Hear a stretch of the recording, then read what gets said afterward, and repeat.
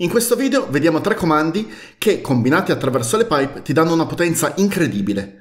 Sto parlando di sed, grep e avk. Prima di continuare ti ricordo che io faccio video dove parlo di Linux, di programmazione e di retrocomputing. Se questi argomenti ti interessano iscriviti al mio canale, attiva la campanella, commenta e metti un like a questo video. Cominciamo da grep. Intanto una curiosità sul nome. Il vecchio editor Ed, che sarebbe l'editor di testo originale del primo Unix, aveva un comando G per effettuare una ricerca globale nel file, che era seguito da un'espressione regolare, in inglese regular expression, in questo caso abbreviato con RE, seguito dalla lettera P, che sta per print, cioè visualizza.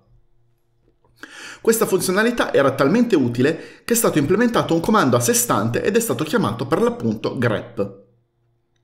Quindi grep ci consente di cercare stringhe all'interno di file di testo. Beh, in realtà non solo all'interno di file di testo, ma come avevamo visto nello scorso video, grep ci permette di cercare stringhe di testo a qualsiasi cosa li passiamo nello standard input, funzionando quindi da filtro e mostrando su standard output solo le linee che contengono il testo cercato. Facciamo qualche esempio. Il file etc passvd contiene informazioni riguardo agli utenti configurati nel sistema e come puoi vedere è un file che contiene molta roba. A questo punto io potrei essere interessato solo a quelle linee che contengono la parola bash. Mi viene in aiuto il comando grep in questo modo. grep seguito da cosa voglio cercare, per esempio bash, seguito dal nome del file, per esempio etc passvd e vedi che ora ci sono solo le due linee che contengono la sequenza di lettere B, A, S, H. È importante capire che il testo che cerchi è un'espressione regolare e non parole intere. Ora, le espressioni regolari esulano dall'argomento di questo video. Per il momento ti dico solo che devi pensare a quello che cerchi come una sequenza di lettere e numeri all'interno di una linea di testo. Finché non usi caratteri di punteggiatura come punto, parentesi, asterisco, ma ti limiti ad utilizzare esclusivamente lettere, numeri e spazi, allora l'espressione regolare corrisponde esattamente al testo da cercare. Quindi, per esempio, se fai un grep della stringa sola, otterrai come output tutte le linee che contengono il carattere S, seguito da O, seguito da L, seguito da A. Questo significa che avrai come output non solo linee che contengono la parola sola, ma anche linee che contengono la parola isola o la parola consolazione, per esempio. Altra cosa molto importante è che le espressioni regolari lavorano linea per linea, quindi non puoi cercare un testo in cui una parte su una linea e una parte sulla linea successiva. Ma torniamo al nostro grep. Se omettiamo il nome del file nella linea di comando, questo significa che cercherà all'interno dello standard input. Per esempio, lo stesso comando di prima può essere espresso con un cat del file, pipe, grep e poi quello che vogliamo cercare, per esempio bash. Ci sono persone che quando vedono il comando cat e poi un pipe con grep inorridiscono e subito urlano uso inutile di cat! Io invece sono dell'idea che funzionano entrambi e quindi vanno bene entrambi. Ma non solo. Visto che il bello della linea di comando sono proprio le pipe, iniziare con un comando cat, secondo me, ti porta già nella mentalità di effettuare l'operazione desiderata facendo pipe a più comandi. Ad ogni modo, grep può anche funzionare al contrario, cioè mostrare solo quelle linee che non contengono l'espressione regolare data.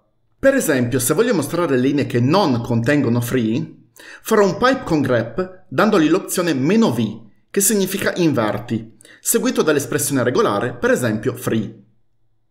E vedi che questa volta ho come output solo più la linea corrispondente a root.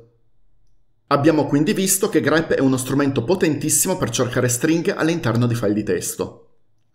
Volendo, grep può cercare anche all'interno di più file, ma per questa operazione preferisco usare il programma ripgrep che vedremo in un prossimo video. Passiamo ora a sed. Hai presente come grep ha avuto origine dall'editor ed di Unix? Bene, sed non è nient'altro che l'editor ed di Unix, ma non interattivo. E la domanda che ti starei facendo in questo momento è, ma io che me ne faccio di un editor non interattivo? E la risposta è, nel 99% dei casi lo usi come strumento di trova e sostituisci. Come esempio partiamo dal comando ls-l. Vedi che su ogni linea c'è la free ripetuta due volte, che sta ad indicare il proprietario ed il gruppo dei vari file. Se io volessi cambiare tutte le occorrenze di free con asdrubale, il comando da dare è ls-l pipe sed S che sta per sostituisci, poi un carattere che serve come delimitatore. Per convenzione è la barra, ma in realtà puoi metterci qualsiasi carattere, per esempio il carattere di cancelletto o la chiocciola vanno bene lo stesso. Dopodiché metti l'espressione regolare del testo da sostituire, in questo caso le lettere F, R, I. Poi lo stesso carattere separatore che abbiamo usato prima, quindi in questo caso barra, seguito dal testo con cui vogliamo rimpiazzare, quindi in questo caso asdrubale. Seguito infine dallo stesso separatore di prima, quindi in questo caso barra. Nota come il comando sed ha sostituito solo la prima occorrenza della sequenza di caratteri F, R, I all'interno della linea, ma ha lasciato intatte tutte le occorrenze successive. Giusto per chiarirci, non è che dopo aver dato questo comando ho fatto cambiare proprietario del file, ho semplicemente preso l'output del comando ls-l, l'ho trattato come normalissimo testo ed ho sostituito una sequenza di lettere all'interno di quel testo, niente di più. Scusa se questo ti sembra ovvio, ma preferisco essere chiaro. Dicevo, se voglio sostituire tutte le occorrenze all'interno della linea, basta aggiungere una G finale dopo l'ultimo separatore. Il carattere G sta per globale, cioè sostituisci tutto e vedi che ora tutte le sequenze di lettere F, R, I sono state sostituite con Asdrubale. Oltre che in una pipe, sed permette di operare anche direttamente su file. Basta mettere il nome del file alla fine del comando. Per esempio, se io vado a vedere il file test.txt che si trova nella directory scrivania, potrei voler cambiare il testo prova1 con test. Quindi scriverò sed s barra prova 1 barra test barra g seguito dal nome del file, quindi scrivania test.txt. Cos'è successo qui? Sed ha letto il contenuto del file, ha fatto le modifiche e ha scritto su standard output il testo modificato. Nota come il file originale sia rimasto invariato. Se io invece voglio applicare la sostituzione modificando il file originale, allora debbo usare l'opzione "-i". E vedi che ora su standard output non c'è niente, e se vado a leggere il file originale, mi ritrovo le modifiche che volevo. Ed arriviamo infine ad AVK. AVK è un linguaggio di programmazione vero e proprio, con una sintassi molto simile al linguaggio C. In questo video vediamo solo uno dei possibili utilizzi di AVK, che poi è anche quello più usato. Allora, AVK tratta il testo come una tabella. Ogni linea di testo nella terminologia di AVK si chiama record ed ogni linea è suddivisa in campi o in inglese field. Di default il separatore di campi o in inglese field separator sono i caratteri di spazio e di tab. Quindi di default AVK separa le parole all'interno delle linee e le mette in delle variabili. La variabile $0 corrisponde a tutta la linea, la variabile $1 corrisponde al primo campo, la variabile $2 al secondo campo e così via fino alla $nf che sta per Number of Fields. Un programma VK è composto da una sequenza di pattern e azioni.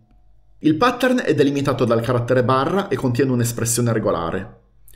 L'azione è delimitata da graffe e viene eseguita su tutte quelle linee che matchano il pattern, cioè tutte quelle linee che hanno la sequenza di caratteri descritte nell'espressione regolare.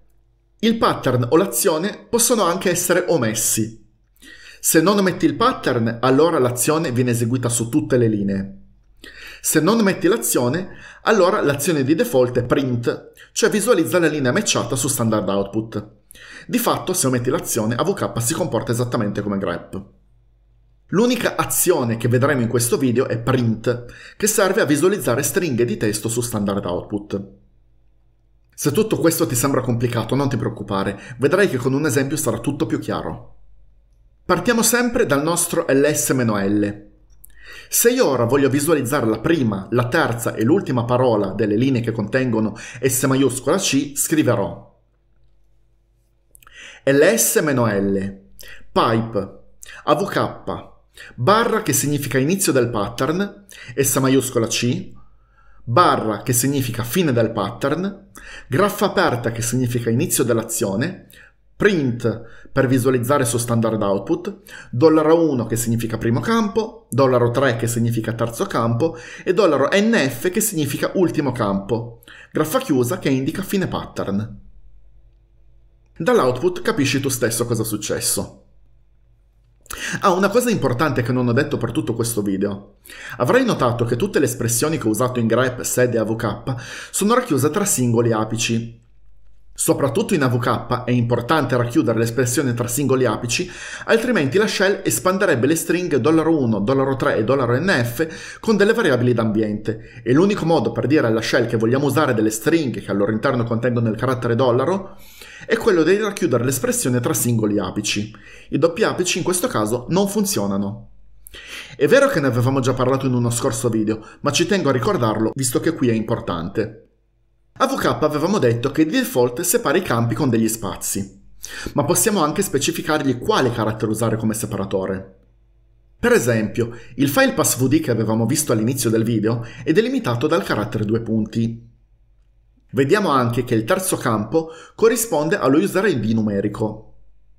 Se io voglio quindi visualizzare solo lo user ID numerico di tutti gli utenti che hanno la shell bash, al comando di prima faccio un pipe AVK meno F maiuscola per indicare un separatore campo differente dagli spazi, carattere due punti per indicare il separatore di campo, poi per l'espressione graffa aperta che significa inizio azione, visto che avevamo messo il pattern significa per tutte le linee dello standard input, print per visualizzare su standard output, $3 per il terzo campo, chiusa graffa per fine pattern e vedi che come output ora ho solo gli user ID 0 e 1000.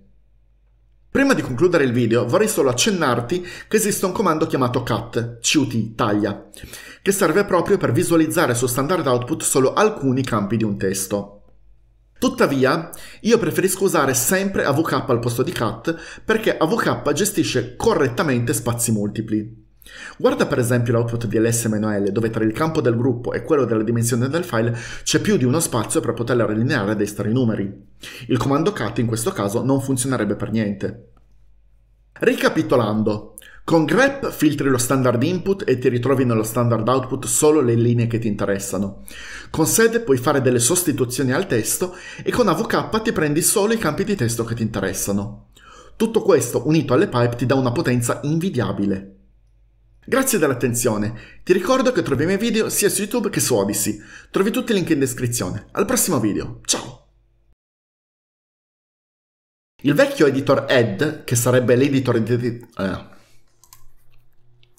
Iniziamo già. E la domanda che ti starei facendo in questo momento... Eh.